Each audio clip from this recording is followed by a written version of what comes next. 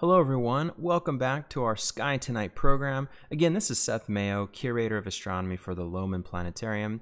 And in this week's episode, we're covering November 16th through November 22nd. And what we'll take a look at is the waxing moon as it glides through our evening sky near some interesting places. We will celebrate the peak of the annual Leonid meteor shower that will be happening early in the week. And we'll take a look at a very interesting opportunity to see the International Space Station and provide some tips for satellite viewing in our sky. So let's take a look. A nice area to pay attention to this week is in the south southwestern part of the sky, and that's where you find the moon moving nicely through this area. And what you'll start with on the 16th is a very thin crescent right along the horizon, so that may be a little tough to see. But on subsequent nights, it'll get a little bit better as it rises higher and higher up. So if we progress time forward to Tuesday the 17th, you'll find the crescent moon inside Sagittarius, the half man, half horse, who we are saying farewell to in that area. And on Wednesday, on Hump Day, you'll find that the moon will be near Jupiter and Saturn that are getting closer and closer to each other for that really nice conjunction in December. Following that day, you'll find that on the 19th, and the 20th, the Thursday and Friday, the moon will enter into a very dim but well known constellation called Capricorn. And once we get to the weekend on Saturday and Sunday, that is when the moon will be a first quarter phase. It'll be half full and inside the constellation called Aquarius. And once the weekend does roll around and we see our half lit moon, the first quarter moon, we'll notice that the moon will be in a very dark region of the sky, and some folks like to nickname this the celestial ocean. There's not many bright things here. It looks like a vast, dark ocean of space. And the only relatively bright object is a star just south of the moon. This one here you may have noticed in the southern sky at this time of the year called Fomalhaut. And Fomalhaut is part of a constellation called Pisces Austrinus, which is the southern fish. The name Fomalhaut is actually Arabic for mouth of the fish or mouth of the whale. And that star really shines, even though it's not one of the brighter stars, it just stands out because it's in a very dark area. Another reason for that nickname, the Celestial Ocean, is because in this area you find a lot of water themed constellations, where we find our half lit moon by the weekend that sits inside of Aquarius, the water bearer or the water carrier to the Greeks. And he's supposed to be holding a vase, pouring water through the sky towards Pisces Austrinus, the southern fish where we find the star Fomalhaut, the fish's mouth. Earlier in the week, we noticed that the moon moved through Capricorn. And as you know, Capricorn or Capricornus, the constellation, is known as the sea goat. And next week, the moon will be a little larger in phase and will be inside the constellation Pisces, the fish. Along with those well known constellations, we can find more to the east a group of dim stars here that form Cetus, the sea monster, or the whale. And way up in the southwest, pretty high up, you'll find a really teeny tiny constellation called Delphinus, which is Latin for dolphin. So these water themed constellations really tie into that ocean theme that we find with this very dark, vast ocean of space where the moon moves through this week. Early this week, we get to celebrate the annual peak of the Leonid meteor shower. And normally the Leonids are seen from November 6th to November 30th. This year, the peak occurs on the evening of the 16th and really best the morning of the 17th from midnight until sunrise. That is usually prime viewing time for meteor showers anyway, and it's no different for the Leonids, which is named after the great springtime constellation Leo the Lion, which you can now see is rising in the east in the early morning. And the radiant point for the Leonids actually occurs in the head of this majestic lion. The head looks like a hook shape or a huge backwards question mark, Within that shape, we find that radiant point here. Now again with radiant points, it's not where you'd see the meteors, but where you can trace many of them back to. So if you watch these streaks of light moving very quickly across the sky, you can follow most of them back to about this point inside Leo. And that's what we see with the Leonids. Now, this is not the most active meteor shower of the year. You usually find about 15 meteors per hour. And what's fortunate for this opportunity is that this year the moon will not obscure our view of the Leonids. The moon will already set by the time the peak occurs, and that won't add any extra light pollution in the sky. So we can hope for some really good weather and clear conditions for a really good sighting of the Leonids. Occasionally, this meteor shower can produce a ton of meteors, sometimes thousands of meteors per hour.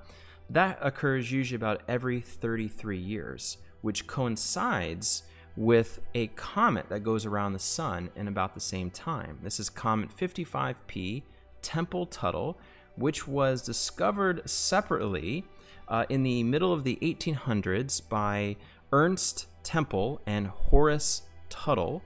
And this small comet leaves a debris field around the sun, and Earth in November happens to pass within the debris trail of Tempel Tuttle.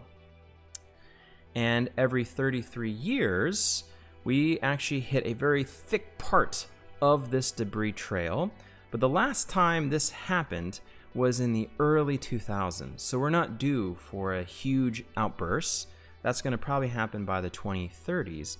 But this comet can surprise, and it does often produce what are called fireballs. These are really big chunks of cometary debris that make these large, fiery kind of streaks across the sky that are very noticeable and can have all these interesting colors that follow the streak. So it's a really, really amazing sight to see those fireballs from Leonids. But either way, Get out there and spend some time in a dark environment in the early morning of the 17th to catch a Leonid Meteor too. One thing that is very surprising for many folks is how many satellites that you can find in the sky. And when we talk about satellites, we're talking about human made satellites that serve all sorts of purposes. And these are low Earth satellites for the most part that are closer to Earth. And if you look in the sky, even for about five minutes, you'd be surprised that you could find at least a few of these machines moving at tremendous speed across the star field. And they're going to look like bright stars that are moving pretty steadily and pretty quickly because they're moving very fast around the Earth and they don't twinkle or blink. And you usually can notice them or tell the difference between them and an airplane or a star or a planet they really stand out. So just to give you a sense of how many satellites there are, let's just jump out to low Earth orbit and take a look. Using our planetarium software UniView, we can take a look at Earth and turn on many of the satellites that orbit around our planet. And these satellites serve all different functions from navigation satellites, our GPS constellation system, to scientific satellites that study the Earth from afar, to satellites that are used even for our internet that may beam internet across the world, and TV and weather satellites we rely on every day. And so there are many uses for these devices that have been put in orbit around our planet, and it's amazing how many there are. So if I turn on just some of them at first, you'll see that the low Earth orbit satellites, these orbits you see closest to Earth, are the ones you can see with your naked eyes, and there are many of those that are moving very quickly around our planet since they feel much more gravitational tug of the Earth. As we move farther out, we can find many, many more as we turn on all the different satellites that are around us. And you can see the kind of influence we have on space around our planet. Quite amazing to see all of them. One of these satellites is not like the others, and that, of course, is of the International Space Station that has people on board. We also call this the ISS. And this football field sized science laboratory moves around the Earth every 90 minutes. And to do that, it travels at about 17,500 miles per hour. And of course, all sorts of science and experiments are happening aboard the ISS by scientists from around the world. And we're having commercial crews visit the station as well. And it is the third brightest object that you can see from our planet. So nothing is as bright as the ISS other than the sun and the moon. There is no star or planet that outshines this space station. It is very reflective, especially those solar panels that draw power from the sun and the other reflective surfaces really shine back towards the Earth and can be seen very well. And the reason why I bring that up is because there's a very cool sighting that's coming up this week that we can see that we'll take a look at. Landing back on Earth and looking up into the sky again, this is on the evening of the 18th, just after 6 o'clock, so not long after the sun has set. You can still see a little bit of the sun's light in the west here. And at 6:13 and rising out of the southwest will be the International Space Station. It will move from this area, move across the sky, reach its highest point at about 68 degrees above the horizon, and then set in the northeast. And that will take about five minutes. And the great thing about Stellarium is you can simulate these sightings. If you go down to the bottom of a relatively new version of Stellarium, uh, there'll be a satellite tool here. It's called Satellite Hints. You can click on that and it will show you a whole bunch of satellites. If you have an internet connection, it will load the current orbital trajectory of many of these satellites. And so if we speed up time, we can get that satellite in view here, the space station. We can already see it rising in the southwest down here. And what's so great is that it's going to be moving past our crescent moon, which we've already talked about, Jupiter and Saturn, and then the space station, looking like a really, really bright non-twinkling object, will then move into that celestial ocean we already talked about. So all of this relates to what we mentioned earlier. It will move across the sky, and if we follow it, eventually it will set in the northeast. And again, I'm speeding up time here, so this will take actually five minutes, but that's not much time to catch this. And there'll be a little bit of light from the sun. And that's usually the best time to see satellites, either in the evening or the morning, at least around sunrise, when the sun is at a favorable angle to be lighting up these satellites in our sky. So Stellarium is very useful in showing that to us, but you can also use this website here. This is the Spot Station website provided by NASA and this is where you can go and look up your zip code or your city and it will tell you the viewing opportunities for the ISS overhead. Of course, we have this set to Daytona Beach where our museum and Lohmann Planetarium are located. And specifically talking about the November 18th sighting, you see down here it mentions Wednesday, November 18th. It starts at 613 and we'll see the ISS for about five minutes. I usually like to really pay attention to the sightings that last for four, five, six minutes long. And it reaches pretty high in the sky, 68 degrees above the horizon at its highest point, and appears 14 degrees above the southwest, and disappears about 15 degrees above the northeast. So it kind of gives you a general area to look at, uh, where it will set, where it will rise, and times and how long you can see it for. So this is a great tool to use. Of course, there's many other websites, apps that you can download for your phone, uh, and Stellarium again is a great tool for planning these viewings of ISS or any other satellite as well. So it's a lot of fun. And I've spent many times myself watching the ISS overhead. It never gets old, especially watching it with your family and also to take pictures of it too. So here is a fisheye image I took earlier in the year. This is a streak photo from my front yard and basically I just take a long exposure of the ISS moving overhead and allows you to see the streak of light that we see across the star field. And this was a long crossing for about six minutes. So it was a really good one.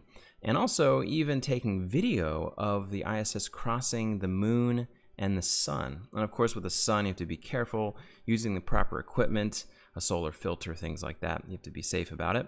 And there's a website called ISS Transit Finder that you can use to time these transits of the ISS crossing those two things.